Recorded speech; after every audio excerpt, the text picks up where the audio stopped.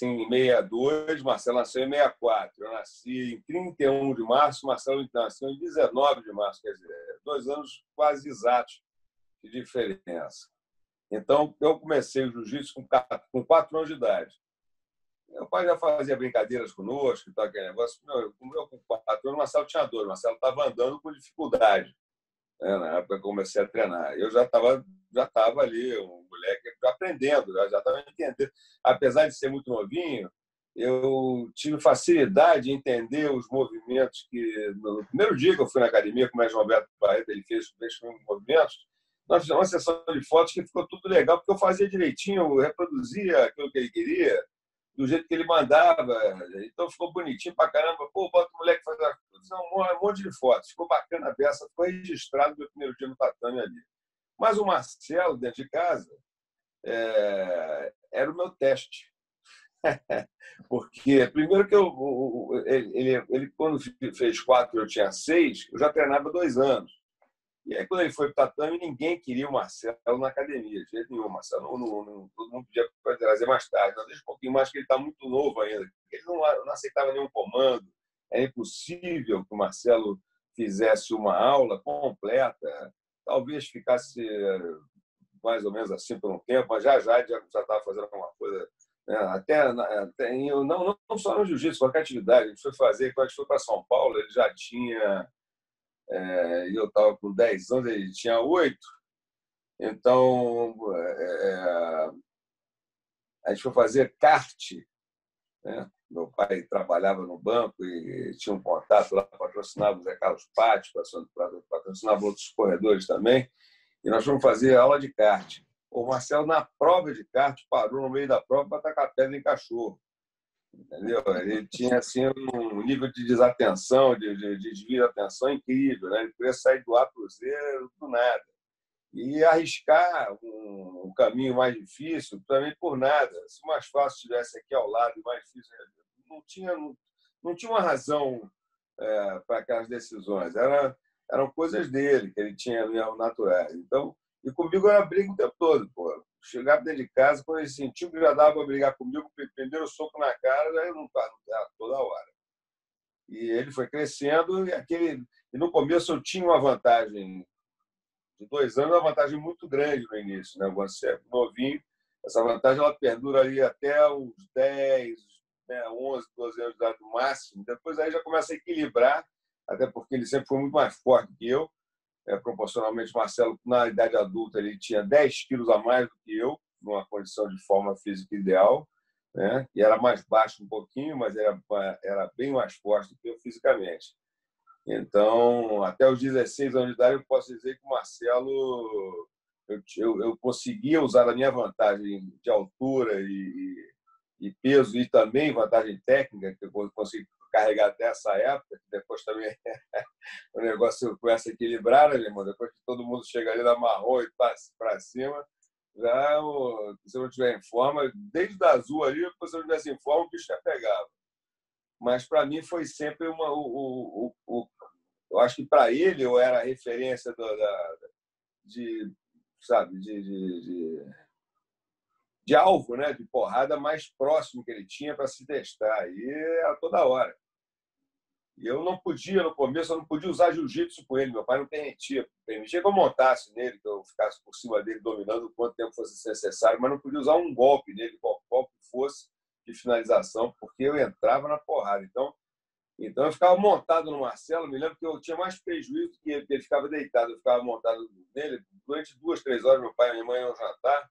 Quando voltava, estava eu, montado no Marcelo, três horas, com os joelhos já pô, em frangalho, e Marcelo inteiro ali, deitado no chão, né, pô, só dizendo para mim que ia me matar quando saísse dali.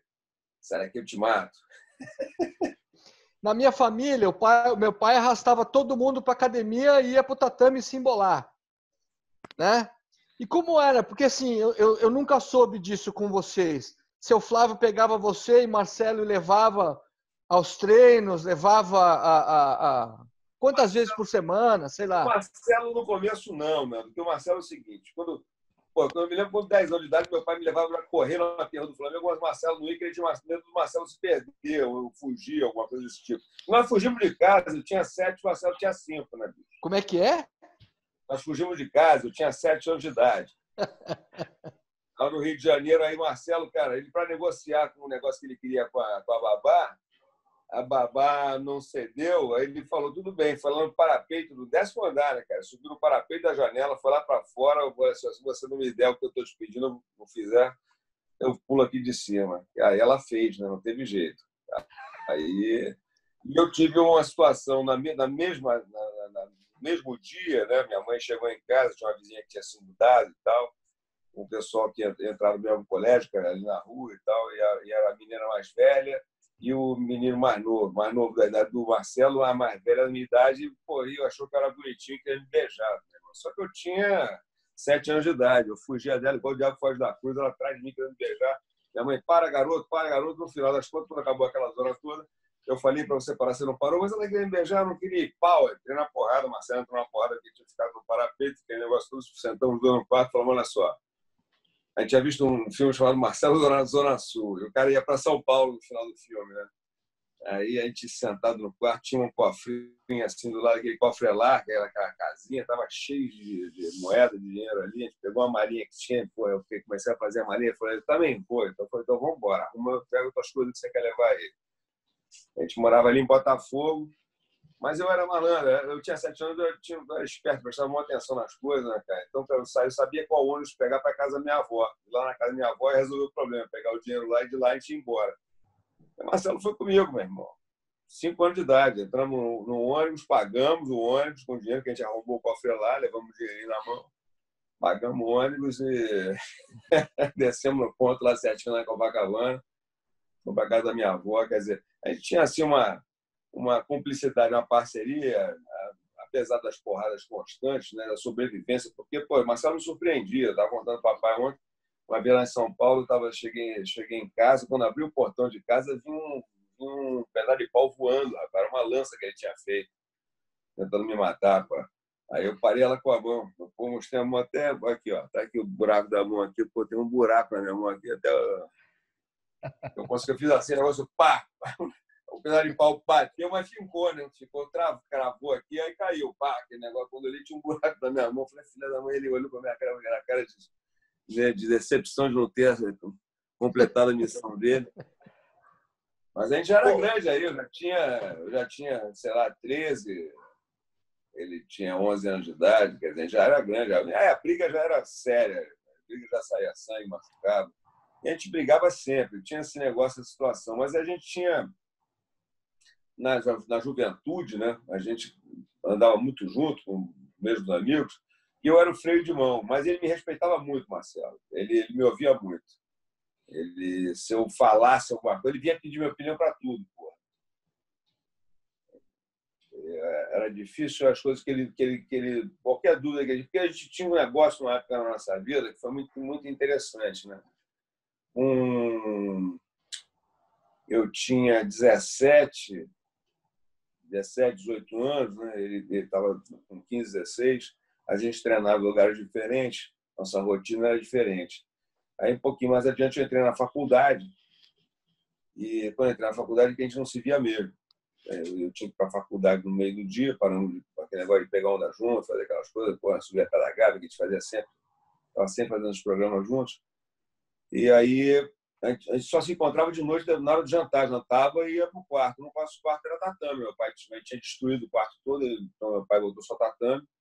E tinha assim, um, na parede tinha um vergalhões assim, cravados de um lado do outro da parede, onde um ficava a porta do armário assim, com os troféus em cima, no outro a gente botava as pranchas. E sobrava uma porta do armário que a gente botava de, de, de para fechar a porta, meu pai não entrar, meu pai ficava, a gente ficava treinando até tarde. E acontecia exatamente isso. Né? A gente entrava no tatu, deitava no tatame e falava, foi aí, cara, o que tu fez hoje? Ah, fiz isso aqui. É, pô, o que tu faria se eu fizesse isso? Faz aí. Pô, bom, bom, pô, tenta fazer de novo. No final, a gente estava testando a posição. Pô, no dia seguinte, a gente estava, com certeza, afiadíssimo, muito mais do que qualquer outro que não tivesse feito. Então, quando ele chegava na academia, eu também tinha uma baita vantagem, porque aquela posição que foi no, no dia anterior que a gente tinha, tinha recebido ali, e não tinha tempo de, de, amadurecer, entre nós dois, quando a gente não tinha é, aquela na, a mesma instrução, era um teste diferente. Eu não tinha visto, ele não tinha visto, então era um negócio bacana. E aquilo ali nos amadureceu muito. E na nossa vida, usando a analogia disso para a vida, acho que por eu ter sido um cara mais mais mais brando, mais calmo, né, mais mais comedido, apesar de ter feito um monte de, besteira. Peço desculpa ao meu pai, para minha mãe até hoje. Não... Cara, eu agradeço a Deus. Meu filho é um anjo. Como é que são os seus, Fernando? meu filho era meio atacado, mas está ficando. É que Estados Unidos dá uma segurada muito nisso, né? Estados Unidos se encaixota muito. Eu acho que se fosse no Brasil, meu filho ia ser atirado, cara, ia ser problema. Mas como cresceu aqui a educação americana, o sistema, né? Te encaixota totalmente. Então, graças a Deus. Eu dou graças a Deus por estar morando aqui. Graças a Deus. Você vê o seguinte, né? se o Marcelo tivesse conseguido ir para aí, ele estava com a passagem na mão, né, cara? Ele tava, o Rickson tinha mandado a passagem para ele para ir para Los Angeles, estava na mão dele. Ele morreu com a passagem na mão. Mas o Marcelo, na, na, na, juventude, foi bem isso. Quer dizer, a gente tinha uma, uma, uma a gente começou a pegar onda juntos, quer dizer, a gente foi morar em Nova Panema, Nova Panema era um paraíso, porque era, pô, era na frente da praia, a gente atravessava a lagoa, estava num lugar, a barra da Barra da Tijuca, da Altas Horas, o tempo todo. Então a gente começou a surfar diariamente. A gente, às 5 horas da manhã, estava atravessando a lagoa para pegar onda é, e dava aula à noite. O tatame nosso a gente tinha que montar, desmontar 40 placas. Então não dava para duas aulas dois horários por dia. A gente abria tarde para criança e à noite para adulto e acabou. Mas todo dia. Não, é, essa, aí, cara, essa foto aí já é Nova Panema, o Marcelo como monitor na turma de criança. Ele é o garoto mais alto aqui, é o Marcelo. Essa molecada embaixo aí, tem um monte de faixa preta aí, ó, dessa galera que está embaixo aí, todos adultos. Tá embaixo dele, bem embaixo dele, está o Baiá de Paula, que foi presidente da Oi, até pouco tempo atrás. Esse, Olha só, esse jovem aqui? Esse aqui está tá ajoelhado, o único está ajoelhado. Ah, legal. A direita do, do Marcelo, mais, uh, o segundo à direita de faixa amarela, é o Pedrão, que é nosso representante de Montreal, doutor, radiologista né, da Universidade de McGill, Mafere, todos aí são garotos hoje com a sua vida feita. Então, isso aí já é em Nova Panema. Marcelo já era faixa azul, a faixa dele já era azul. Já tinha 16 anos aí. Então, antes disso, vocês estavam no Álvaro Barreto? Não, já aconteceu, olha só. É antes disso, a gente, quando a gente chegou no Rio, é, eu fui para eu fui para o Alberto Barreto, eu já treinava lá, eu comecei com o mestre Alberto Barreto e, depois, e sempre nas férias, quando vinha ao Rio, eu vinha treinar com o mestre Álvaro Barreto, meu primo que treinava lá, eu digo. Então a gente ia de bicicleta tal, tinha aquela até uma aventura engraçada que tinha que tinha que dar um jeito de burlar a secretária, que era uma boliviana muito louca, a Alguinha, que ficava na secretaria. Então, alguém tinha que passar agachado enquanto o outro ficava de isca e tal. Mas o Marcelo, ele não ficava na casa da minha tia, ficava com meu pai e minha mãe. O Marcelo sempre foi um problema, né, cara? O Marcelo era um moleque, meu irmão, tinha que ficar supervisão total. Eram poucas as pessoas que queriam o Marcelo para ficar em casa. Marcelo, pô, vai não, atrás do Marcelo não, vai me dar, dar trabalho. Marcelo tinha um, umas coisas assim, uns rompantes é, de é, complicados, né? Então eu ficava na casa do meu tio Marcelo, não ficava nas férias, não passávamos juntos não. Mas então ele treinava com meu pai. Meu pai quando ia a alguma academia eu levava, né? Visitava muita gente. Meu pai sempre quando visitava era um cara que, que ele não dava aula, mas ele chegava com um status de faixa preta qualificado ali do mestre Hélio Grace, né? Aluno do João Alberto Barreto, um cara casca grossa, conhecedor sempre com o maior respeito, apesar de trabalhar com marketing, ele chegava com autoridade que qualquer um teria, né, com a qualidade que ele tem. Né? E meu pai só se dedicou a, se tornar professor full-time em 92, ah, assim que o Marcelo resolveu né, seguir o caminho e passar a academia para a gente naquela época, que ficou com meu pai, eu nem fiquei, acabei indo fazer sociedade com o Fábio Gurgel. Mas é, em Nova Ipanema, a gente tinha uma, uma, uma, é, uma academia assim que ela era, ela era a solução de todo mundo, porque eram 4 mil pessoas, né? não tinha nada isolado. E, de repente, surgiu aquela oportunidade para a gente, garoto ali, de, de, de ter um ambiente para treinar. Meu pai fazia, meu pai montou uma casinha. Meu pai sempre foi um cara super é, disciplinado. Então, ele montou uma casinha onde ele guardava os pesos dele. Era uma, era uma construção que nunca terminava, não andava, que o negócio estava parado em frente a uma panela. Ele foi lá, pegou, montou uma casinha, fez lá de, de alvenaria e, e botou os pesos lá. Quando aquele negócio não era aproveitado, ele comprou 40 placas de tatame, fez um desenho no chão, fez, é, furou para botar madeira, botar é, parafuso, encaixava uma lona preta por baixo, encaixava o tatame, depois, quando tirava o tatame, a lona preta cobria o tatame, uma corrente nova, tinha, tinha todo um cerimonial, era uma coisa interessante, tinha a técnica. Então, é, é quando não perguntou se a gente, é, gente ia treinar, onde meu pai fosse, a gente ia com ele sim. É, me lembro de visitar várias academias com meu pai, eu e Marcelo, de kimono, e a gente fazia aula normal. Me lembro dos conferes que às vezes aconteciam. Eu, quando eu fui uma vez, na, nós fomos levar o Marcelo para treinar na Academia Grace, Marcelo já na faixa azul, né? É, ali no Vasco, eu, eu fui de kimono, né? fui de kimono no braço e acabei fazendo confere lá, lá em cima, né? com o Royce, com o mestre é, Hélio e meu pai assistindo. Foi ótimo, treinaço com o Royce. E aí, enquanto o Marcelo estava iniciando ali já, é, com o Rickson, e ali ficou. Quer dizer, ele treinava, na verdade, fazia com o mestre Álvaro algumas aulas, mas a gente na Panema não tinha essa não tinha essa frequência, tanto assim, já que tinha os tatames lá para a gente treinar, entendeu?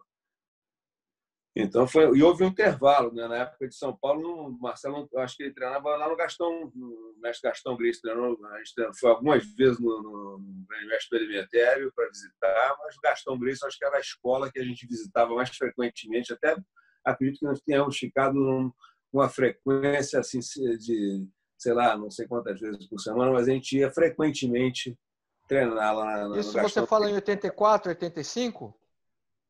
Não, é, não, isso eu falo em 70 e 70 e, é, 71, 72, até 75. Porque vocês chegaram a se mudar para São Paulo nessa época, Silvio? Em São Paulo, nessa ah, época. É? É, moramos em São Paulo. Mas oh, aí, nessa época, foi na de intervalo do jiu-jitsu. Quando nós voltamos, já voltamos ali, o Marcelo já foi direto entendeu? É, é, treinou um pouquinho lá com o mestre Álvaro Barreto, sim, treinamos juntos lá, mas ele depois já foi direto ali para o Rickson, logo depois.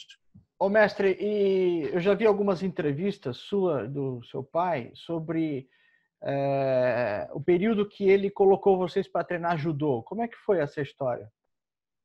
É, na verdade, o que acontece? Na Nova Panema, o parceiro do meu pai de treino, né, que era um cara motivador, que, que, na verdade os treinos começaram sem tatame nenhum, a gente ia dar uma corrida, malhar, sair na porrada lá no bosque.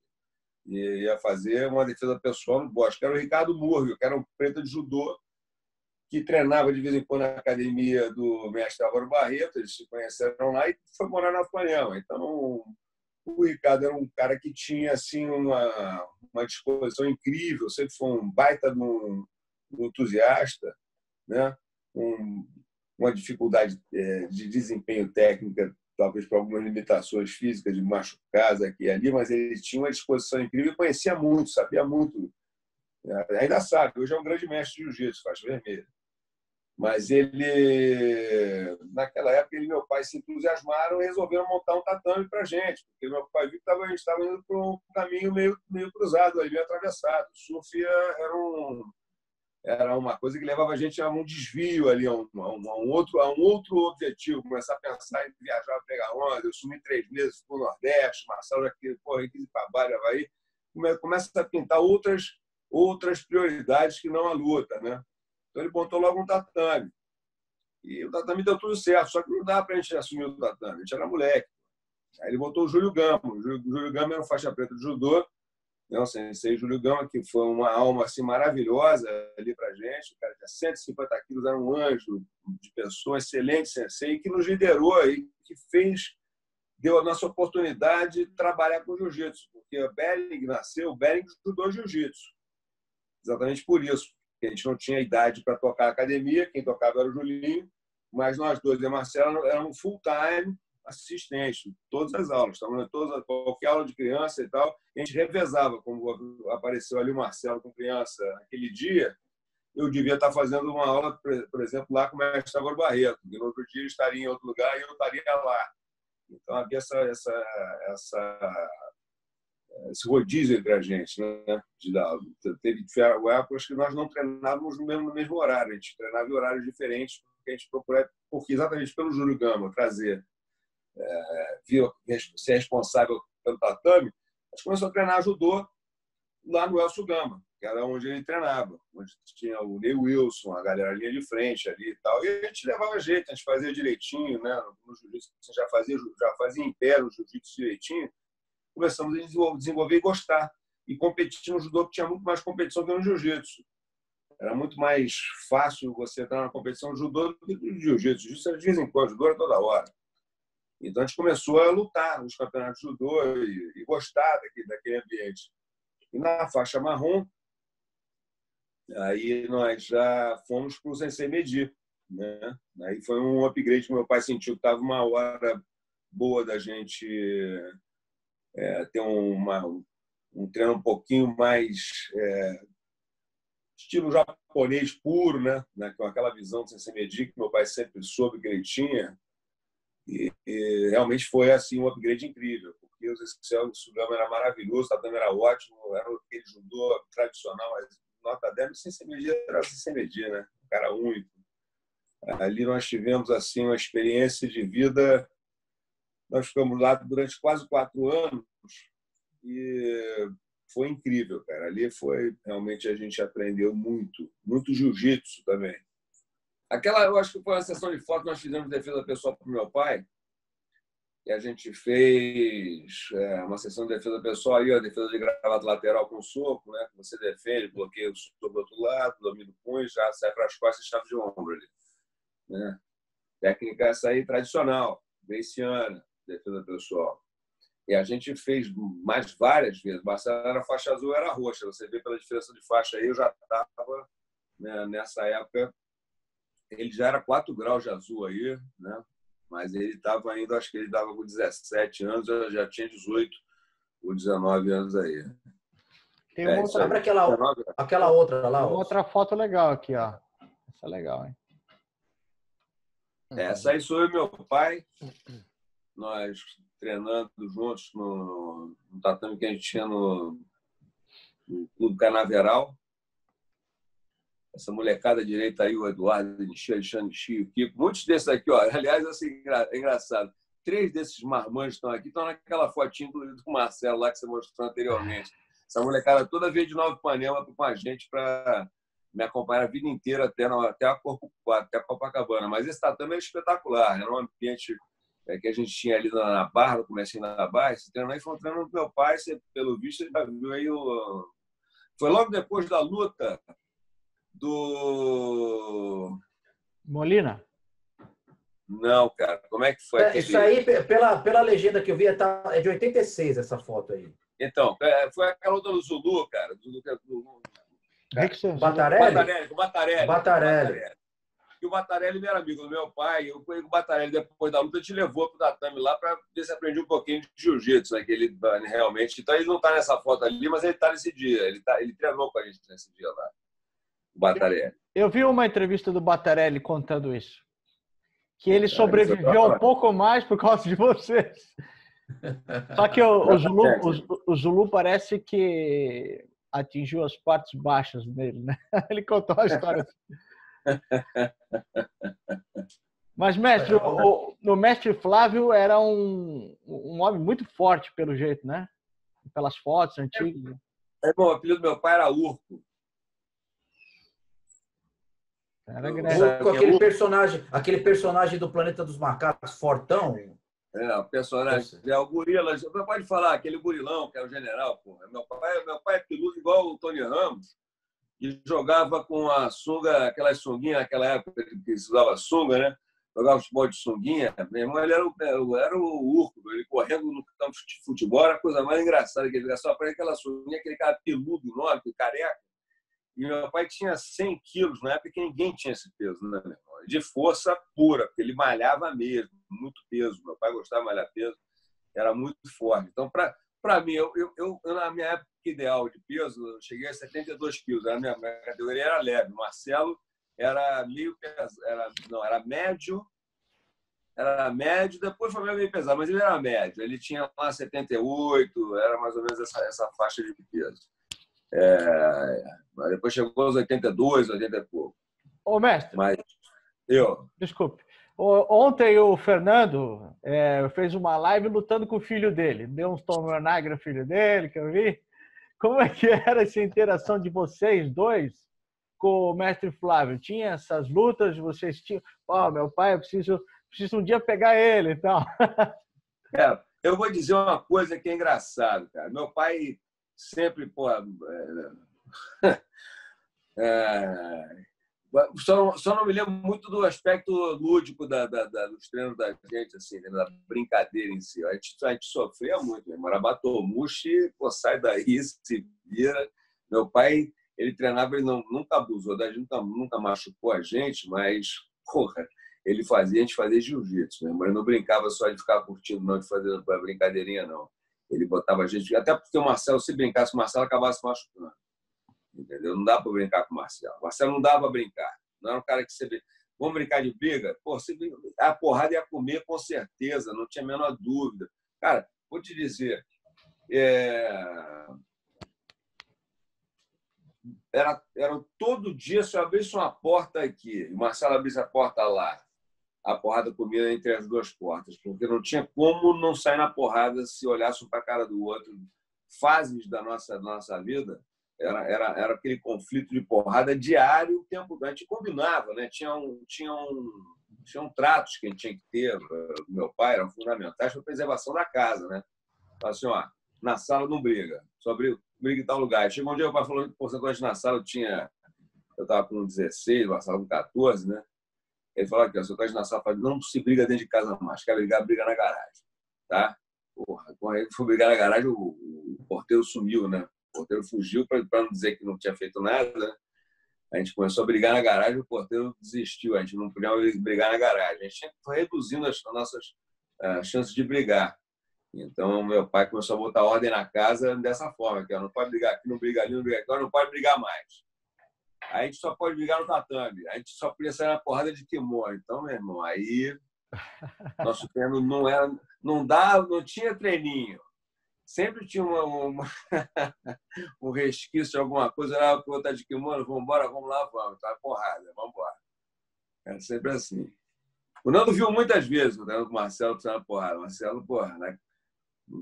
Comigo ele não, nunca aliviou, nunca fez um treininho comigo. Né? Cara, mas eu sempre vi muito respeito, né? Era, tinha, tinha um preparo quando o Marcelo sabia que o Silvio ia chegar, que até me emociono. É, o Marcelo já começava a anunciar a chegada do Silvio muito tempo antes, né? E já criava aquela euforia, né? Na, parecia que o Papai Noel estava chegando para gente. Isso é o que foi. E cara, era um respeito assim enorme, porque o Silvio chegava, o Marcelo saia do tatame. Agora vocês vão fazer aula com meu irmão. Meu irmão mais velho vai dar aula para vocês. Ele falava: agora vocês vão aprender técnica. Comigo não. Agora vocês vão aprender técnica. Aproveita e pergunta. E era verdade, cara. O Silvio chegava naquela calma, cara.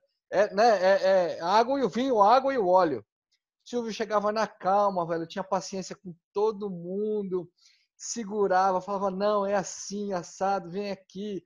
Aí o Marcelo chegava, meu irmão, tu é burro pra caralho, não aprende porra nenhuma, vai se fuder, o que, que você tá fazendo aqui? Essa, isso era que a gente recebia, né? Mas aí eu em casa também tratava os do mesmo jeito. Eu já adorava o Marcelo, o Marcelo era um anjo com ele. Tio o Marcelo chegava, era uma festa. Pô, eu também. Eu não, eu, eu era mais brando também. Eu, fui, eu acho que eu fui endurecendo né? Eu fui endurecendo, eu passei uma época muito rígido, assim, acho que já na final da década de 1990, muito, muito rígido com a minha equipe, que é uma equipe toda também de potenciais campeões, né? o Corleta, Verdun, Mário Reis, aquela quando você tem muito campeão no tatame, porra, meu irmão, a rédea tem que ser bem curta, né? é muito ego, né, Silvio?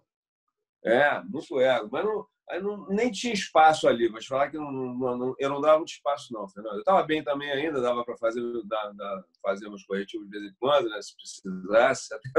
Até, não durou muito tempo também, não, porque os caras ficaram uns monstros, né, meu irmão? O do Verdun foram os primeiros que eu não dava. Passou um tempo na marrom, já não dava para treinar com os caras. Meu. O cara tudo gigante, monstro. Né? É... Eu lembro uma vez com o Verdun, cara, a gente estava treinando no Mundial, ele estava treinando de azul.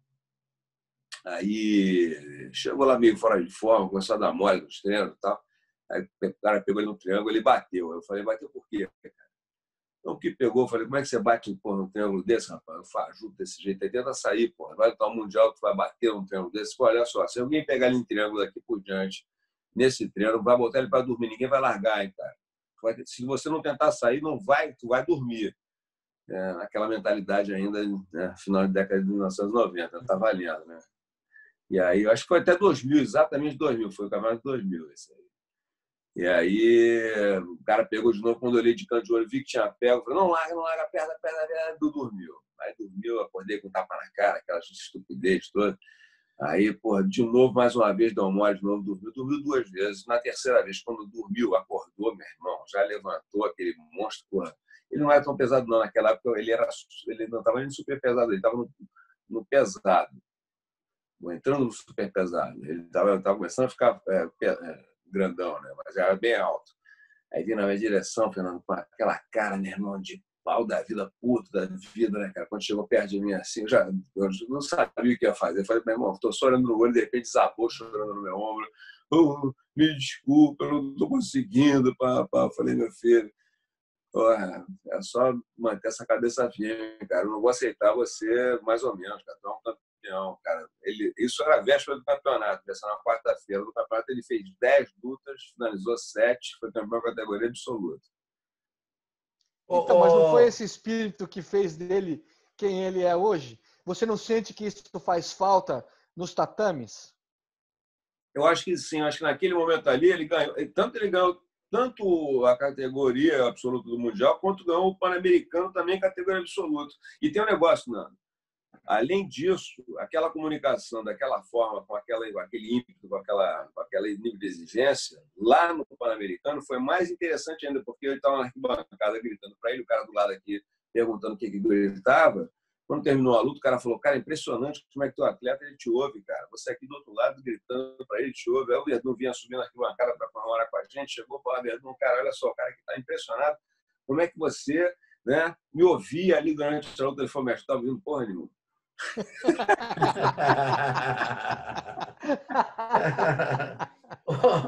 ô, ô, Mestre, isso aí que o, que o Fernando falou, eu sempre tive essa, essa impressão, né? Que eu, eu treinei com o Mestre Flávio em, no, em 2000, lá em São Paulo também, na Vila Olímpia, ali no, no Itaim. E, e aí, eu, quando eu conheci você, eu vi que você tinha uma aparência física muito. e, e até temperamento também, né? Muito parecida com o Mestre Flávio. Então, eu, é, eu enxergo. Miniatura, né, né pô, física? Porra, Miniatura. É... Não, mas até a voz é impressionante, assim, impressionante. É, mas, enfim, eu, é, eu, enxergo o Marcelo como aquela coisa mais é, totalmente instintiva, né? É, é, é, ímpeto, né? Ímpeto total, né? E, e, e, o seu estilo, eu vejo, vejo várias videoaulas, enfim, tudo que você coloca, eu sigo aí, eu vejo que aquela coisa mais é, minuciosa, né, mais é, detalhada. Quer dizer, você tem dois, né, é, dois segmentos aí. Quer dizer, eu acho que o cara que conseguiu treinar com vocês dois ao mesmo tempo tinha essas duas, né? Quer dizer, você tinha Não, aquela minúcia. Vamos lá. Qual era, qual era o triângulo de ouro? Esse que era o grande negócio, é coisa bacana. A gente tinha a nossa academia na Barra, onde a gente não se encontrava, os alunos tinham aula comigo, tinham aula com ele em horários diferentes, para não haver nem conflito entre nós dois, com o Júlio Gama, que era o centro da, da, da parada com a gente, e treinavam na Corpo Quadro comigo, com o mestre Álvaro Barreto, quando queriam, à vontade, e lá no Rickson com o Marcelo à vontade. Então, os alunos tinham acesso ao mestre Hélio Grace, ao Rickson, ao mestre Álvaro Barreto, né? ao meu pai, a tudo, a tudo, aquele triângulo era aberto, era tranquilo, era tranquilo. o pessoal é, é, transitava por aquele, daquela forma que quisesse, tanto que o Maurição, o Vini, né? essa galera toda treinava direto, ficaram colados. Tanto, tanto o mestre Álvaro lembra de tantas vezes eles, do tatame ali treinando como se fossem alunos da, é, frequentes da academia, quanto o Rickson. Então é interessante essa época, porque se, você vê as fotos do Jorge Pereira também, a galera que, que, teve a liberdade de permear pelos três espaços e, lógico, é, onde tinha um treino mais duro, que eu também fui treinar porque era um treino mais duro, era lá no Rickson. Tinha um treino que era um treino de competição. Então, quem quisesse tinha que ir para lá, não tinha jeito. Eu fui também. Né? Mas no mestre Álvaro tinha as aulas, tinha tinha aquela aquela aquela didática de excelência do mestre Álvaro que é uma coisa ímpar, né?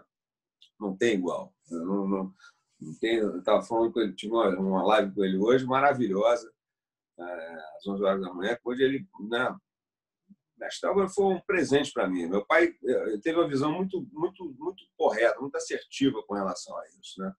Eu nasci para ser músico, para ser, para ser né, um cara da, sei lá, da arte, mas talvez não da luta. A luta foi o Marcelo mesmo que me fez lutador, não tenha dúvida disso. Meu pai, com a sua mentalidade, que não me deu mole, né, irmão? me dava chance. Aos 10 anos de idade, me levou para correr na terra do Flamengo e falou: Vamos correr. Eu falei: Correr? Vamos correr, se você vai se perder de mim. É melhor você correr. Puta, eu chorei o tempo todo, atrás dele chorando, mas correndo, mas não, porra, não perdi de vista. Né? Mas também é o seguinte: né, isso ele fez isso comigo porque eu tinha ido um jogo do Flamengo um pouquinho tempo antes, até lá, 18 anos de idade, verdade e saí antes para ir no carro para mostrar que eu sabia onde estava o carro sem ninguém me mostrar. Olha só, que meu pai, puta, acabou o jogo, ninguém me achava no Maracanã, meu irmão.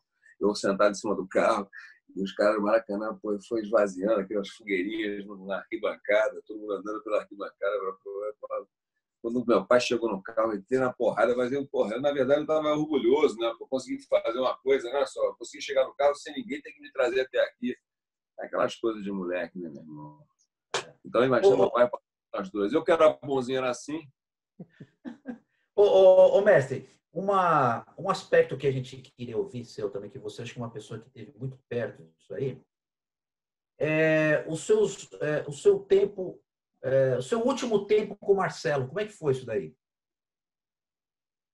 Eu fiz uma pergunta um tempo atrás com uma amiga minha, cara. Olha que coisa interessante. ela tinha perdido um filho e eu não sabia exatamente como tinha sido, tinha uma curiosidade para entender um pouquinho melhor da vida dela. E ela sentada, estava sentadinha assim na cadeira de balanço, assim, conversando comigo e tal. E eu perguntei mesmo como é que foi, como é que foi a história do teu filho e tal. Cara, a mulher começou a desabar, ela, ela começou a desabar em lágrimas. E olhou para mim e falou o seguinte: eu não seria o que eu sou, não estaria aqui hoje, é, se não fosse tudo que eu passei na minha vida. Mas tem coisas que eu não gosto de voltar e falar sobre elas.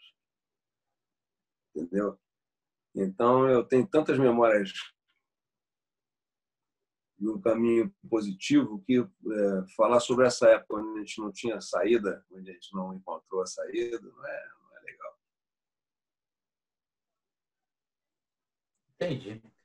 Ô, ô mestre, é, a gente conseguiu abrir muita coisa aí, essa parte da, da convivência, né, caótica aí pelo jeito, né, algumas vezes, e, e amorosa e produtiva. É, eu acho que isso daí, lógico, foi um negócio que enriqueceu aí. Ô mestre, muita gente falou, desculpa, Fábio, mas muita gente falou das cartas. Né? Isso, isso, foi isso que ia puxar. Eu ia puxar isso, isso foi um assunto aqui que todo mundo falou tal. Como é que é era essa história poético, das né? cartas? É, Marcelo, o Marcelo, meu irmão, tá tudo com o Kill, Foi tudo, eu entreguei os, os cadernos todos do Marcelo para o Kill. O Marcelo sempre foi um cara que ele tinha, nos seus momentos de solidão e de angústia, e de inspiração também, não, não foi só na tristeza que ele fez, fazer isso, não, ele fazia isso qualquer, em qualquer momento de inspiração fosse por um motivo ou por outro. Mas ele escrevia muito, escrevia bonito pra caramba. Então ele tinha cartas para todo mundo, né? Ele estava puto com o Fernando, ele escreveu uma carta para o Fernando. Tava, porra, aí, tava feliz comigo, escreveu uma carta para mim. Entendeu? Tava com saudade das crianças, escreveu uma carta para as crianças. Então ele tinha cartas assim, e tem esse, essa documentação toda, está com, tá com o Kion já na, na, na, nas mãos dele. Né? Acho que o caminho foi, foi melhor que podia ser. Um moleque maravilhoso. Aliás, cara, que coisa incrível, né? É...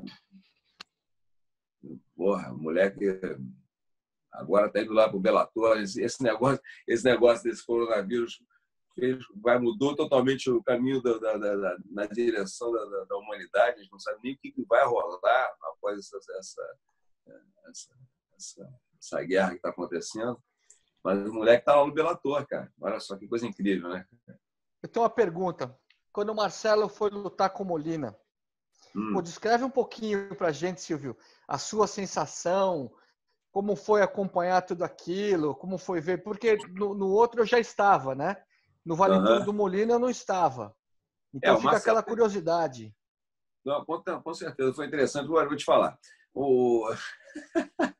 Aí tem uma cena de situações engraçadas. Meu pai, quando o Marcelo, o negócio do Molina, Marcelo era faixa marrom ainda. Né?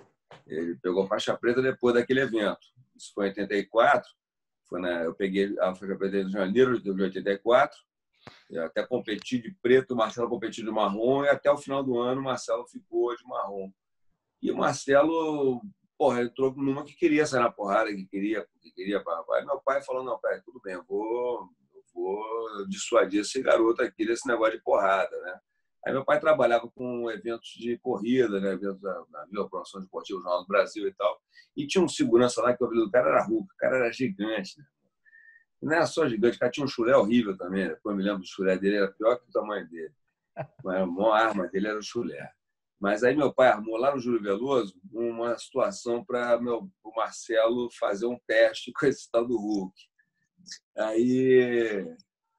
Fala, Piazza, meu querido. Tim, pô, Tim, tá igual a cara dele. Fala, Tim, lindão. Maravilhoso. Fala, mestre. Ah, meu filho.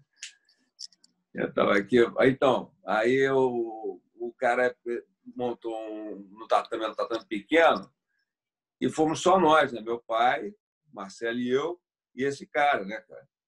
Quando o cara chegou, o cara gigante, assim, ficou no meio tatame, aquele negócio, uma pai queria ver se o Marcelo porra, mudava de ideia. Falou, você quer fazer? Não, faço. Tudo bem, então é o seguinte, ó, começar só com mão aberta para esquentar e tal, chute à vontade, não vale mão fechada.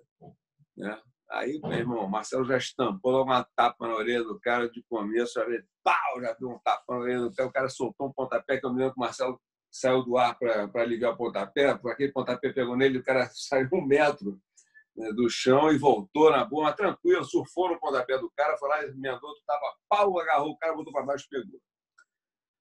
Aí o cara, quando levantou, meu pai falou: Você quer continuar? O cara falou: Não, não quero não, não quero mais fazer isso aí não. Para mim tá bom, chega, não quero mais, não, não quero mais não. Aí o Marcelo falou para mim: E você, vamos fazer um pouco? ah, rapaz. Então vocês conhecem a fera, né? Que é exatamente, não está satisfeito com, com, o tal do, do Mamute, queria me pegar também. Rapaz. Não vai dizer não. Indo direto para a luta do Molina, mestre, o senhor falou numa. Mas então, olha só, não, peraí, olha só. Então, qual foi esse caminho? Depois, logo em seguida, o Marcelo começou a treinar e realmente ele não tinha. Marcelo não tinha ninguém na academia que tivesse a condição que ele tinha, né? a não ser o Rickson, para fazer aquele papel. Então, ele estava realmente muito à frente, ele estava preparadíssimo, estava com a mentalidade certa, com, o timing certo. A porrada, Marcelo estava fazendo justinha, aqueles treinos todos que a gente fazia de porrada no bosque, que eu, falei anteriormente, né, estavam todos eles ali na, na, na é, dando a ele condição de estar com maior vantagem. Todos estavam super confiantes com isso. Né? Tinha certeza, os caras não tinham ideia é, do poder que o jiu-jitsu estava trazendo naquele momento ali, aquela desvantagem técnica que eles tinham. Molina, se, se o Molina tivesse feito mais dois anos, três anos de jiu-jitsu, a luta seria diferente, seria muito mais difícil. Mas o Molina não tinha noção de chão, ele não sabia nada de chão. Então, para nós, era, uma, era realmente um, uma superioridade evidente que a gente tinha uma tranquilidade em relação a isso. Então, nós fomos tranquilos para aquela luta. Entendi. Ô, ô, mestre, é, ficou algum aspecto? Eu, eu, lembrei de uma luta que o senhor falou uma vez, essa luta é interessante também. O senhor narrou uma luta uma vez, é, vocês brigaram, ele jogou em cima das cadeiras, estava num ambiente que eu não me lembro aonde que era. Essa briga. Nós paramos no cinema. É, é, porque o tatame era do lado do cinema, então é, né, é exatamente o que eu estava falando, a gente só brigava de kimono. Então ele pediu para inscrevê-lo no campeonato de judô lá em Madureira, e eu não fui, pô, aí em Madureira escrever campeonato de judô, pô. mas eu ia para Realengo, eu estudava em Realengo. Ele falou: você passa por lá, mas não tinha nada a ver, não passava mesmo. Meu ônibus era para o estado do que não tinha nada a ver, eu tinha que dar um jeito de ir para Madureira. Eu, não, eu falei: não vou, vai você, meu irmão. Só que para ele sair da barra, Madureira também era outra, outra aventura, e ele tinha que dar aula. Resultado, não escrevi. Quando cheguei na academia, pô, estava ali no tatame, falou, e aí, aí, me inscreveu no campeonato? Falei, não, então bota kimono. Então, beleza, botei o kimono. Pô, botei o kimono, meu irmão. Chegamos para rapaz do lado, assim, de uma cortina né, enorme, assim, um, um, um cinema montado, né, cara? Do, do condomínio, esperando para aquela noite ia ter um cinema. Depois daquele, daquele treino, o cinema estava ali, montadinho. Porra, ele me deu, ele dava um seu toche muito forte de esquerda, cara. Ele deu o seu toche, eu cravei naquela, naquela cortina e quando eu desci, eu desci derrubando todas aquelas cadeiras, assim, com aquelas espalhadas de cadeira assim, quando já levantamos, já levantei, eu corri pro meio da cama, já embora, continua, continua. E o palco, meus alunos encostando na parede, aquele negócio, o cara veio para ver, quando o cara veio reclamar de cinema, ninguém fala nada, espera acabar. Aí nós ficamos naquela porrada mais um tempo ali, mas na primeira foi logo no destruir o cinema. A preparação psicológica dos alunos era forte também, hein? É, não. A ideia, a ideia era trazer ali todo mundo para um nível de, de, confiança que o Marcelo tinha. Pô. E para fazer isso, tinha que estar sempre passando pelo crivo ali. Né? Muito da sorte que ele já tinha, porque ele já, por exemplo, muita gente que ele conheceu, que ele trouxe o tatame, já eram os caras que ele conhecia no surf, que eram caras destemidos nas ondas. Né? O pessoal dropava ondas grandes então, o cara sabia se o pessoal tem disposição a pegar onda grande, já vem para tatame com disposição para sair na porrada se for, necessário. Eu não tenho medo né, de coisa maior que ele. Então, tinha essa vantagem. Então, São Paulo foi um negócio assim para ele, que ele já chegou com todo mundo ali, que, que já, já, de alguma forma ou de outra, passava, corria riscos nas suas, nas suas atividades fora do jiu-jitsu. Né? Já fazia o esqui, o surf ou qualquer coisa que se arriscava. Então não era nem a linha de frente de São Paulo já veio de cara com ele. Então foi um time foi fácil fazer uma preparação mental para a galera. Legal. Sandro, alguma pergunta? Fernando? Mestre, quer falar mais alguma coisa aí que esqueceu? Mais alguma pergunta? Não, aí, Sandro? Não esqueci nada. Tem tanta coisa para lembrar do Marcelo que vocês estão falando, né, meu? Então tá aí para nós. Vamos lá. Estamos aqui. Quarentena. Boa, então. Tem que fazer um, tem que fazer uma, um, um, um, é uma forma que a gente possa conversar, né, Tim? Para a gente poder botar em dia aí todas aquelas situações. Eu vou contar, eu vou contar aqui no, no, no privativo. Fora o jiu-jitsu, né, cara? O talento do Marcelo. Cheguei em São Paulo, o Marcelo já chegava assim, ô, senhor, você chegou aqui, você fica tranquilo, porque aqui quem manda sou eu. Não é que ele mandava. mandava Mandava mesmo, né, meu irmão? Vai lá no meu carro, tem alguém te esperando lá no meu carro. Da chave do carro. Ele era, era incrível. Bom, aquela época de São Paulo que a gente, né, teve aquelas. Eh, uma época que a gente entrava no, restaurante, não pagava, nunca pagava para restaurante. Assinava a notinha e ia embora. É. O homem era cruel, né? Mas era, Sandro, alguma pergunta? Uma época interessante para nós ali né, na, na, em São Paulo foi.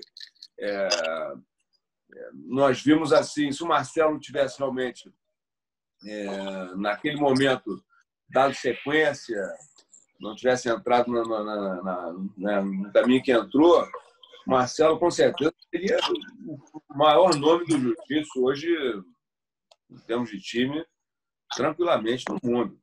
Seria o cara, o cara liderando aí tranquilamente.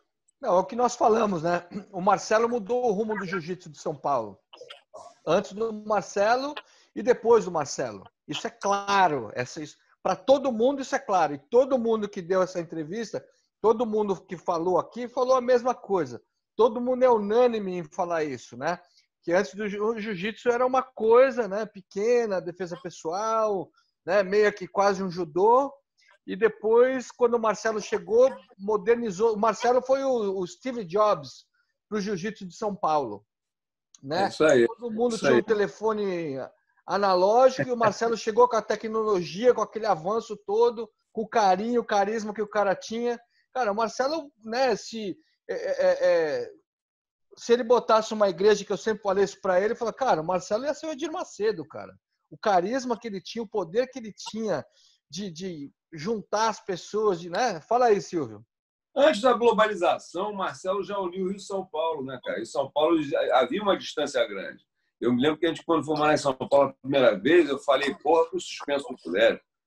Porra, pô, isso é palavrão, pô. Mas que palavrão, pô? Já, pum, tá suspenso de novo. Então, quer dizer, porra, era vírgula pra gente, era, era, era palavrão em São Paulo. Sacanagem se te ouvir sacaneiro, era o maior palavrão. Então, a gente tinha uma distância cultural ali, de, até da própria linguagem, que é interessante.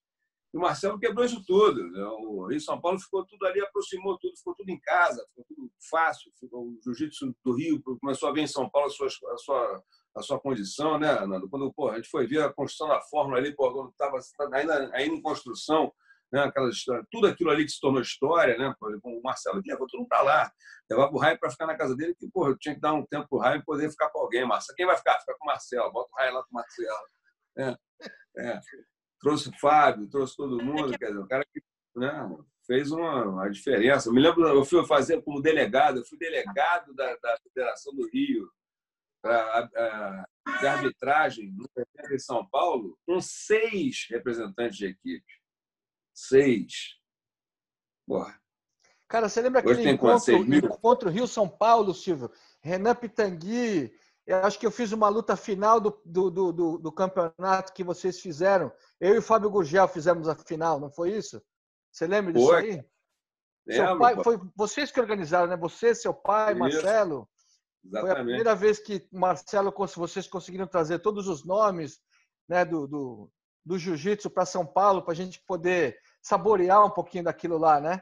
No Clube Era uma aventura incrível. Para a gente era ótimo, que a gente metia o pessoal dentro do ônibus no Rio, cara. Ia para São Paulo de ônibus, aquele negócio dos ônibus, pô, ninguém dormia, aquela zona, aquela esculhambação para ir para São Paulo.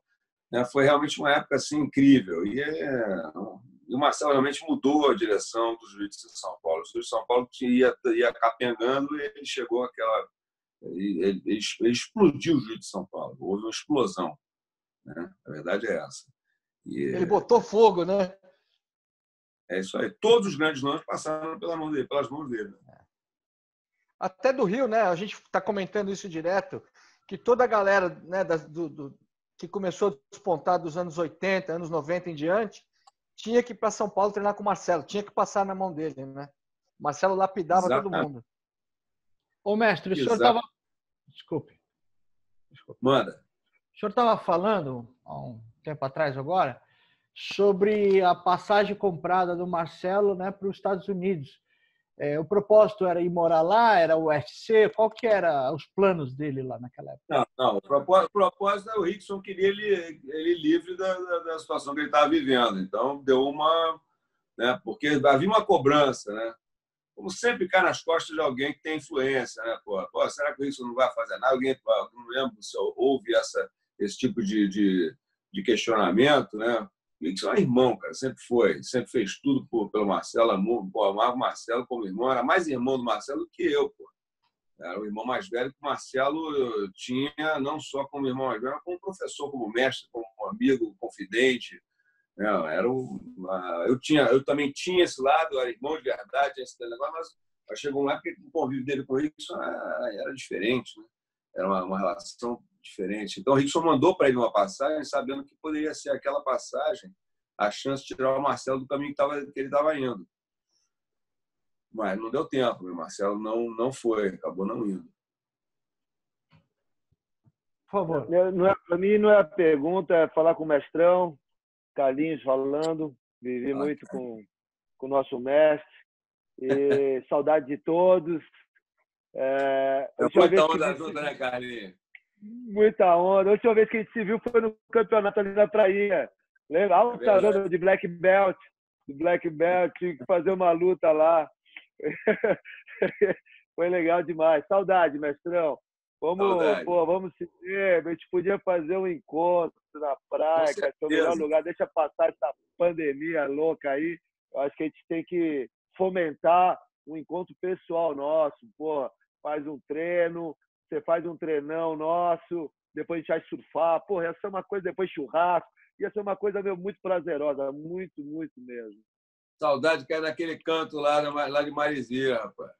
Pô, tô aqui, tô aqui, tô aqui no canto, tô aqui no canto. Então, aí, ó. Estamos aqui. Pô, é. Saudade desse canto aí, pô. Tô me preparando um para isso. Prazer. Vai ser um prazer demais. Vamos passar tudo isso daqui. E esse, esse, esse tempo que a gente viveu foi, como você falou, como o Fernando falou, eu acho que o Marcelo realmente não é que ele revolucionou o jiu-jitsu de São Paulo ele criou o senso de comunidade, de irmandade. Ele tinha esse poder. Ele era uma liderança inspiradora pela união e o, talvez um dos caras mais humanos que eu tenha conhecido até hoje na minha vida. Até hoje ele na minha vida eu não conheci um cara mais humano que ele. Beijar o pai, né? Tem um pessoal que aprendeu a beijar o pai, que não beijava o pai, né? Não beijo teu pai, aprende a cada um de mim. Isso. Eu, eu, eu, eu, eu, Beijo meus filhos até hoje por causa de Marcelo. E, aliás, me chamo Carlinhos por causa de Marcelo. Porque meu, meu, meu nickname era Guto. E ele mudou a minha história para Carlinhos. Até hoje dividiu. Metade chama de Guto, metade chama de Carlinhos. E eu explico sempre, não, Carlinhos é o meu mestre que me chamou. E é o homem que eu, que eu adoro ser chamado, que eu sempre lembro dele. Boa, maneiro, maneiro, muito o Marcelo legal. fez a gente se beijar, né? Entre, entre homens. Foi o Marcelo que trouxe isso que antigamente era coisa de viado, né? Vai beijar homem, você é viado, porra. E o Marcelo, num esporte totalmente machista, fez a gente se beijar. Todo mundo se cumprimentava, dava um beijinho no rosto por causa do Marcelo. E todo é mundo queria o beijinho dele, né? Tinha, tinha a fuga de quadril, lembra que ele levou todo mundo para dançar aeróbica lá na treino, que ninguém conseguia escapar o quadril, ele pegou todo mundo no jiu-jitsu. Vamos lá fazer aula de aeróbica. Fazer aula do Fuscão. Lembra? Mas ele, ele, tinha uma técnica legal. Quando ele chegou na companhia, treinava com um cara que chamava Armando, cara grosso pra caralho. Aí ele punha você no tatame e falava: pode socar minha cara e eu só tenho que te levar para o chão. E a gente fazia, fazia boxe lá com quem que era? O Miguel de Oliveira, né? A gente entrava para rasgar. Ele vinha, baianava, jogava no chão. Aí por dia ele arranjava os três, quatro alunos novos ali. Ele ia, dando, ele ia passando a baiana na galera e foi, foi arranjando um monte de aluno novo. Tinha é até aquele cara que lutava boxe, tomou uma facada no, no braço. Eli Santana. Eli Santana.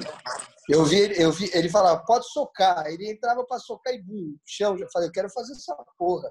Você lembra que o Marcelo tomou um soco na orelha quando ele botou ali para baixo, que a orelha do Marcelo arrebentou, cara? Porra, mas, mas ele botou ali para baixo, não tinha papo, não. Né? Não. Ah, a, a técnica era boa. Quando eu queria botar para baixo, bicho, era complicada a situação. Ele fazia aquela ele fazia uma roda e ele punha, punha a galera. Ficava eu, Zé, ficava, ficava uns 10, 12. Ele pegava um, dava tempo, ele parava, não descansava, pegava outro, dava o tempo, parava. E a gente ficava naquela ansiedade, puta, tem que chegar de novo, né? Porque o mestre pegava todo mundo, né? Não tinha quem, não tinha quem sobrevivia, né? Fala, na próxima ele não vai me pegar. E ele não parava, cara. Nunca vi um, um gás daquele. Nunca, puta, era um gás que era sobrenatural. É ele rodava, rodava, dava três, quatro voltas e uma hora ele falava, parou. Mas ele não parava, não tinha assim, vou respirar. Falava, caralho, onde é que o cara arranja tanta energia, cara? Era foda, é bicho.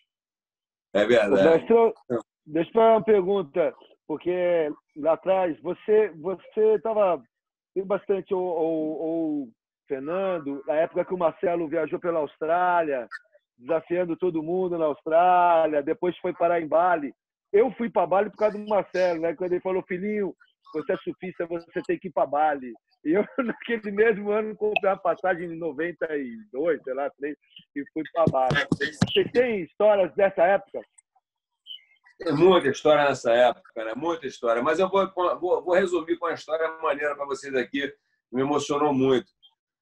É... Tá, tá, tá todo mundo ainda aí? Estamos aqui.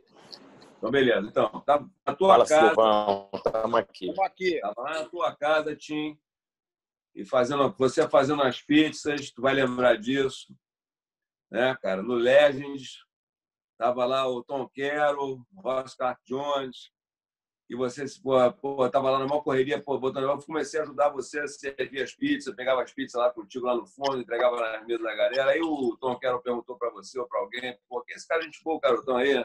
Pô, tá aí ajudando, tá? Uma coisa assim, alguém falou, pô, não, é irmão do Silvio, do Marcelo. Meu irmão, o cara me parou assim, cara. Ele chorava, compadre. Ele, ele, ele, ficou, ele ficou sem palavras olhando para mim assim, pô, meu irmão, quero te falar, cara, pô, meu irmão, teu, teu irmão, eu não vim para cá, quando eu vim para cá, não vim para competir, eu vim para ver teu irmão, pra você ter entendido, para entender como é que eu gostava do teu irmão.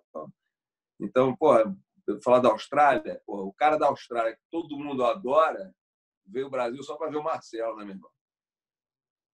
Então dá para resumir bem aí. A gente está falando na casa do Tim, que a gente se encontrou, o cara, meu irmão, o cara me tratou. Depois daí, o cara é meu amigo no Facebook, é uma, porra, porra, me trata bem pra cacete, sempre lá mudando uma mensagem aqui e ali.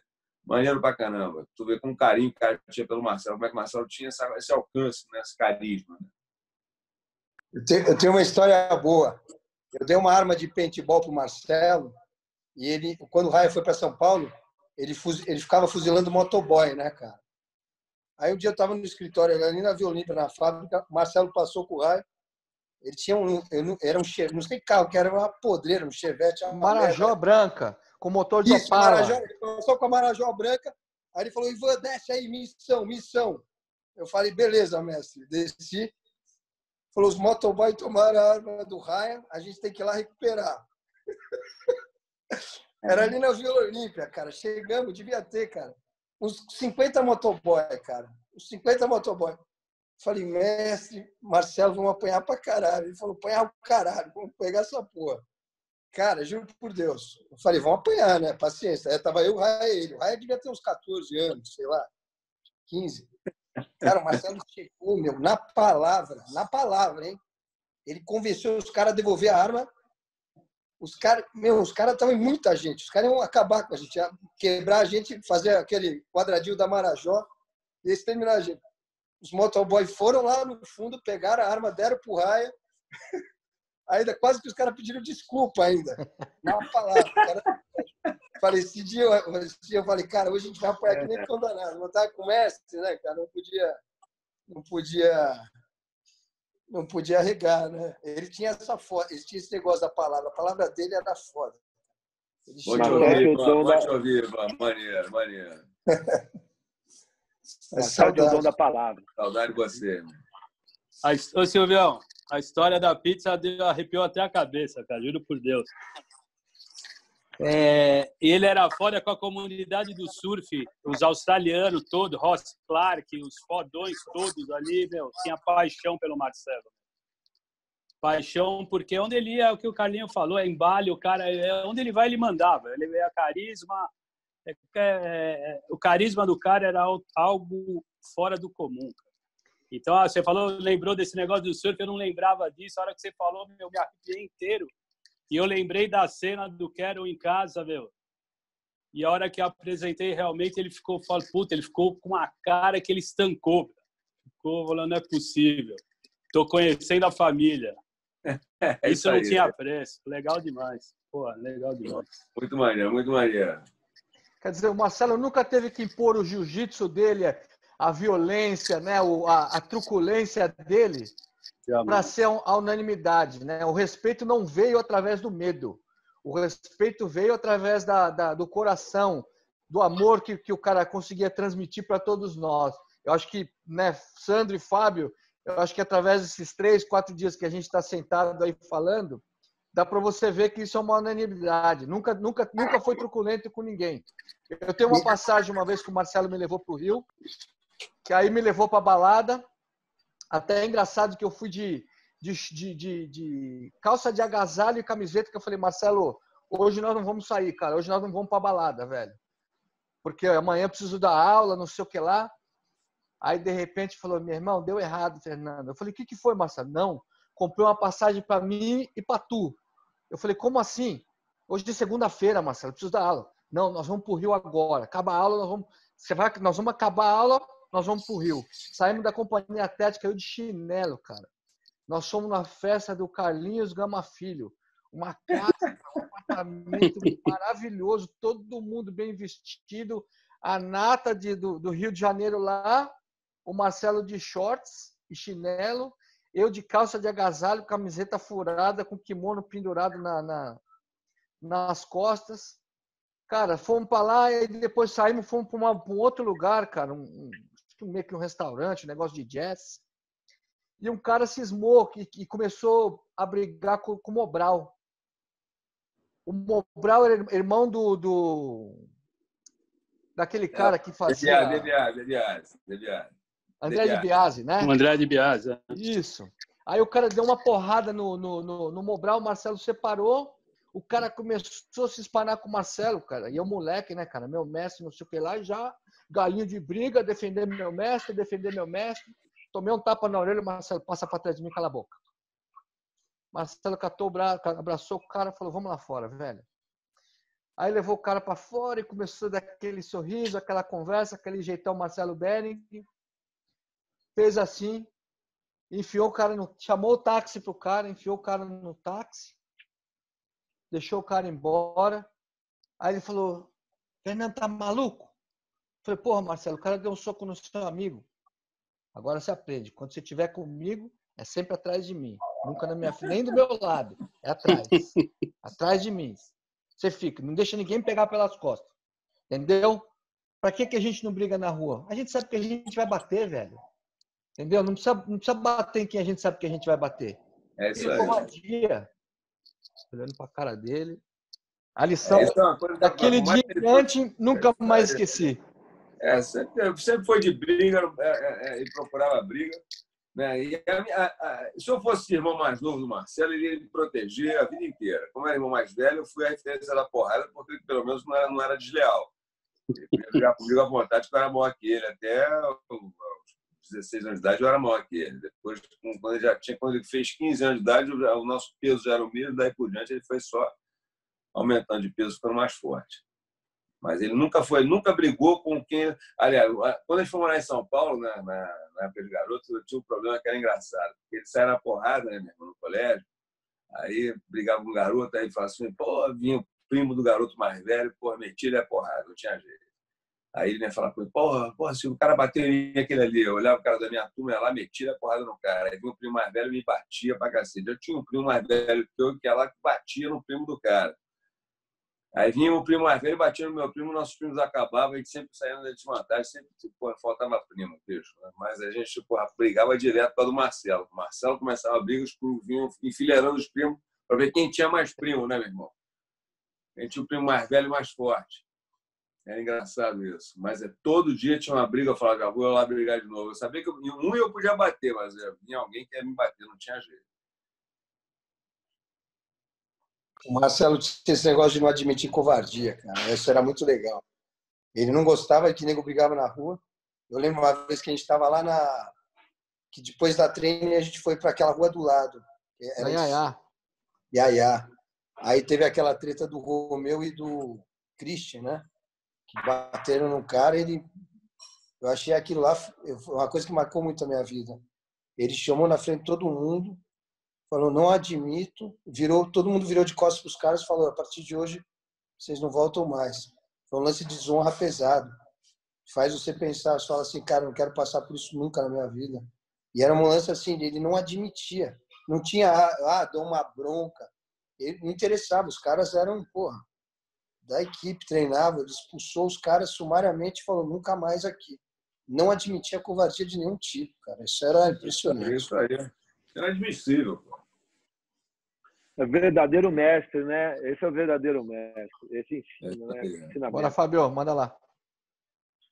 Oi, Ivan. É, é que assim, tem, tem um pessoal aqui que está fora do contexto. Como vai esse vídeo vai para muita gente, que às vezes nem é de São Paulo, está um pouco fora do contexto. Conta de novo essa história, mas com um pouquinho mais de contexto, para o pessoal entender direitinho, por favor. A gente, essa época era uma época que eu estava o Fábio Gurgel estava treinando em São Paulo, o Murilo Bustamante, lembro, eles eram faixa roxa época, faz algum tempo isso já, né? E a gente estava na IAIA, em cima de uma academia. E lá, quando a gente saiu da treino, acho que a treino fechou, não sei o que aconteceu, a gente foi para lá, e daí ele ficou assim, uma, uma galera do jiu-jitsu, ele trouxe o, o, o, pessoal do Rio, começou a ter um entrosamento legal, Rio São Paulo, a gente, às vezes eu fui com o Marcelo pro Rio, eu lembro, eu fui no Pizza Guanabara, ele parecia um deus, né? Dava lá, todo mundo, Marcelo, Marcelo, uma coisa legal pra cacete. E daí, nessa época, entrou muita gente no jiu-jitsu, estava vindo muita gente do Rio, começou a vir muita gente. Cresceu muito. Eu não lembro, lembra, Nando? Cresceu muito nessa época. Entrou muito, muita gente nova. E o Romeu é um cara, pô, eu gosto dele, gente boa. Acho parece que até foi campeão mundial, o Romeu da, da Alma Surf, né?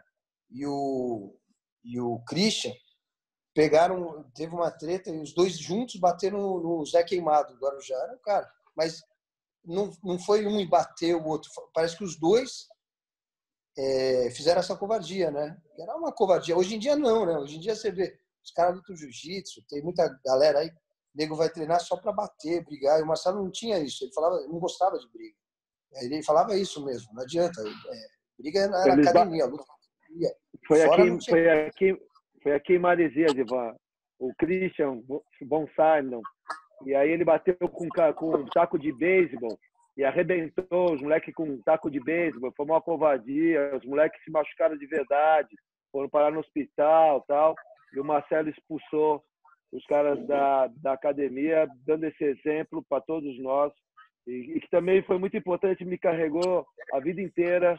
Cara, é, pode sair na porrada, mas seja sempre com lealdade e, e, essas histórias do Marcelo não brigar porque sabia que ia bater, não era uma vez. Lembra a época do Aluri? Era toda noite. Toda noite, Era toda noite. Ele, ele, ele poupava alguém dando esse ensinamento, ele ensinava toda noite isso. Meu mestre, porra, o cara é muito folgado. Porra, é nada. A noite é assim. O cara era um agente do bem, cara. O cara era, era um cara realmente tinha uma, uma mente elevado. Não, é, é, é essa história marcou muito porque é, ele, fez, ele não simplesmente chamou os caras, ele pôs os caras na frente da academia inteira. Tava ele, ele pôs os caras do lado dele e ele falou o seguinte: agora todo mundo vira de costas para eles. Cara, foi assim. Eu me senti mal porque eu, eu gosto do Romeu até hoje, né? Aquela coisa, cara, me marcou muito. Você tava no dia, não tava lá, Carlos? No dia que ele fez isso? Pô, foi pesado, assim. E, eu, eu levei isso para mim, o negócio da covardia. As pessoas hoje, a covardia em geral, né? Todo mundo é covarde. O cara sacaneia outro no negócio, tá, tá cagando. Não existe mais essa filosofia. E esse negócio de, também assim, eu sou superior, para que, que eu vou me imprimir? Tá? Eu vou bater no cara, para que, que eu vou brigar, então, né? É, e o valor do Marcelo transcendia esse negócio da briga, né, meu? Acho que ele tinha esses valores para qualquer coisa, né, os amigos, né, cara? Ele tinha uma coisa de de parceria. Mas o primeiro salário dele que ele ganhou na vida, que a gente ganhou um saláriozinho nosso lá na primeira academia, lá na Panema, ele gastou o salário inteiro na mesma hora comprando suco a molecada na rua. Entendeu? Pô, chamar a molecada que estava na rua, gastou todo o salário em, sei lá, 15 minutos. Ô, Silvião, eu contei, eu contei uma para a galera aí, pro, pro Fábio, pro, pro Sandro, a história da Billabong, que ele pegava as cotas de roupa, ele ia buscar as cotas de roupa no mês seguinte e o filho da puta não tinha mais uma roupa, ele tinha dado para todo mundo. Ele pegava a molecadinha na academia, os moleques não tinham, ah, não tem roupa, leva a roupa aqui. Leva aqui, a camiseta ó, ó. caralho, Marcelo. Isso aí não é... Marcelo, não, não, não dá para vestir todo mundo, não. É só você, meu filho. Não, me lembro Mas que, isso, pô... isso é, é o que você falou aí. É ele mesmo. Cara, eu não tinha dinheiro para comprar Billabong. Quem me dava Billabong era Marcelo, cara. Eu andava, Marcelo pegava Billabong tamanho pera para mim. Não, eu, me lembro, eu, me lembro, já um pouquinho mais adiante ali, na época que já, já era patrocínio da Nofia, da Bad Boy, que a gente chegava em São Paulo. Vamos pegar onda? Vamos? Pô, tem que passar em casa. Porra nenhuma, vamos passar na loja. É, é, é verdade, lá no Ibirapuera, né?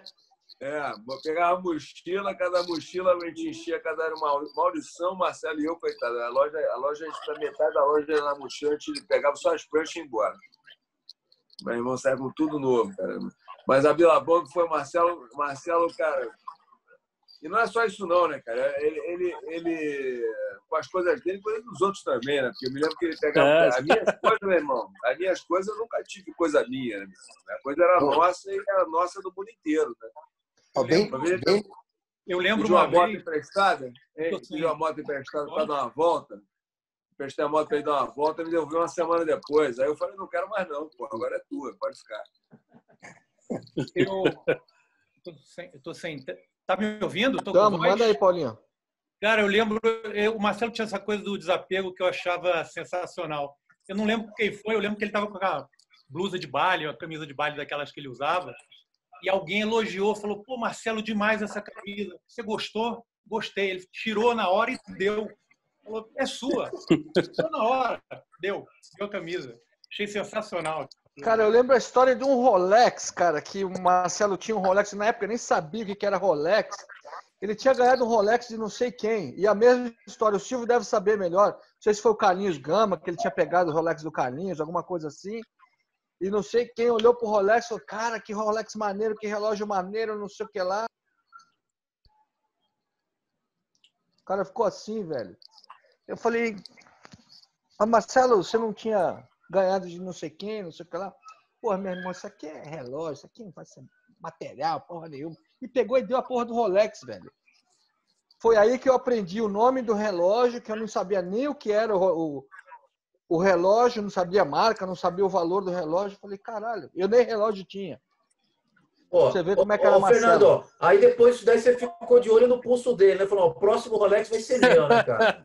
Cara, eu ganhei uma calça do kimono o Marcelo tem uma foto na Austrália que ele está com um kimono japonês. Que foi a foto que ele desafiou o cara lá, o campeão de Shinobi. Cara, eu fiquei contente que o Marcelo pegou a calça um dia, enrolou a calça, a calça estava rasgada no joelho já, toda lenhada, velho. Ele falou, Fernando, isso aqui é para você, ó. Eu nem cabia na calça, cabia eu, meu irmão e meu pai junto, que era magrinho, cara. Cara, dei para minha mãe costurar a calça, minha mãe remendou calça. Cara, Aquilo ali era o, o, o meu Rolex. Vida dele aí. É, o mestre Silvio, eu agradeço a sua presença e seu tempo hoje aí, viu, mestre? Obrigado a vocês. Muito bom rever os amigos aí, muito bom falar contigo. Legal a iniciativa. Tá? Parabéns. Um beijo para vocês todos, meus amigos, porra, de tanto tempo. Pessoas que gostam, porra, que é, é, são irmãos do Marcelo. É, o Marcelo fez realmente uma família gigante. Marcelo é imortal, está é, no coração de todo mundo, consegue esse, esse poder. E através do filho dele, hoje em dia, está mais próximo ainda, já está com duas netas, né, cara, lindas. Então é realmente um negócio maravilhoso. Eu, eu, eu, eu sinto saudade do Marcelo, lido com, com, com, a morte dele de uma forma bem natural. Acho que não tem como trazer de volta, não podemos fazer nada. Então a gente tem que curtir todo o passado é, dos tempos bons, das, das, lembranças boas, que é o que prevalece. Então é isso aí. Obrigado por me, me ajudar a lembrar várias coisas bacanas dele. Obrigado, mestre. Nada. Obrigado, Valeu, Silvio. Beijão, saudade. Obrigado. Com Deus, gente. Valeu, Silvio. Também. Carlinhos.